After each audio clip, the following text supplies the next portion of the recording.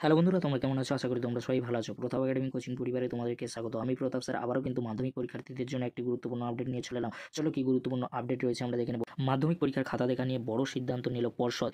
এর ফলে কি পড়ুয়াদের সুবিধা হবে? চলো কি গুরুত্বপূর্ণ আপডেট রয়েছে আমরা দেখে নেব। পশ্চিমবঙ্গ মধ্যশিক্ষা পর্ষদের স্কুল স্তরে ছাত্রছাত্রীদের জীবনে বড় পরীক্ষা হওয়ায় টুকিটাকি ভুলের জন্য প্রাপ্ত নম্বরের তালিকা পর্ষদ থেকে নির্ধারিত হয়।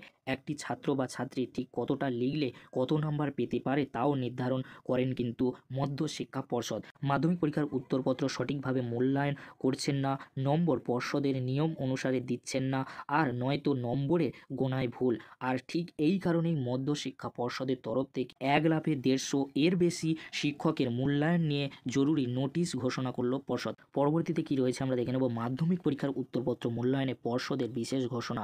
কিন্তু সম্প্রতি আসন্ন মাধ্যমিক পরীক্ষার খাতা মূল্যায়নের বৈঠকে সকল শীর্ষ স্তরের পরীক্ষক সহ বিভিন্ন মাধ্যমিক স্তরে স্কুলের শিক্ষক শিক্ষিকাদের ডাকা হয়। আর সেখানেই ছাত্রছাত্রীদের উত্তরপত্র মূল্যায়নে ভুল পাওয়া যায়। দেড়শো এরও অধিক শিক্ষকের। চলো পরবর্তীতে আরও কি রয়েছে আমরা দেখে নেব। সেখানে কোনো শিক্ষক হয়তো নম্বরের বিভাজনই জানে না, আর নয়তো কেউ জানে না সঠিক অঙ্কের হিসেব। আর সেই কারণে পরীক্ষার্থীরা পরীক্ষায় তাদের কাঙ্ক্ষিত নম্বর না পেলে পুনরায় মূল্যায়নের জন্য আবেদন করলে প্রাপ্ত নতুন নম্বরের পার্থক্য অনেকটাই হয়। আর সেই কারণেই এই বছরে দেড়শো জন শিক্ষকের মূল্যায়নের তালিকা থেকে বাদ দেওয়া হয়েছে। প্রসঙ্গত, এই তালিকায় প্রায় ষাট জন শীর্ষ স্তরেরও পরীক্ষকও আছেন। পর্ষদ থেকে তারা আর খাতা মূল্যায়নের সুযোগ পাবেন না বা পরীক্ষার খাতা চেকিংয়ের কোনো অধিকারও দেওয়া হবে না। পরবর্তীতে কি রয়েছে আমরা দেখে নেব।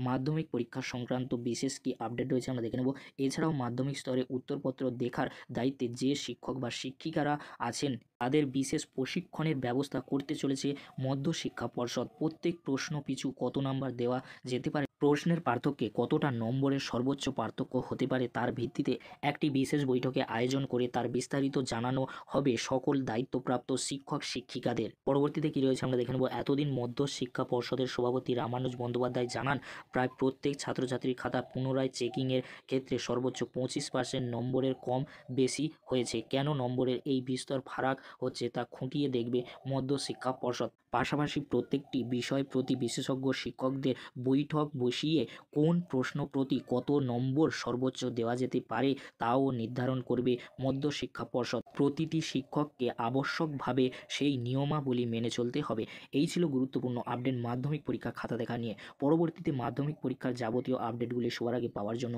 প্রতাপ একাডেমি কোচিং চ্যানেলটি তোমরা সাবস্ক্রাইব করে রাখো। এরকমই গুরুত্বপূর্ণ আপডেটগুলি সবার আগে পাওয়ার জন্য বন্ধুদের মাঝে এরকমই একটি গুরুত্বপূর্ণ আপডেট বেশি বেশি করে শেয়ার করে ভিডিওটি দেখার জন্য তোমাদেরকে অসংখ্য ধন্যবাদ।